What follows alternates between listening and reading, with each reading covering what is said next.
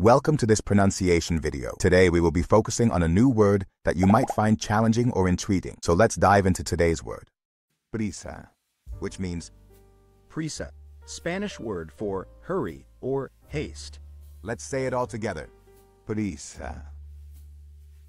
Prisa. Prisa. One more time. Prisa. Prisa. Prisa. Thank you for joining us on this adventure in pronunciation. Remember, language is a journey, not a destination. Keep exploring, experimenting, and expanding your linguistic horizons. We'll see you next time.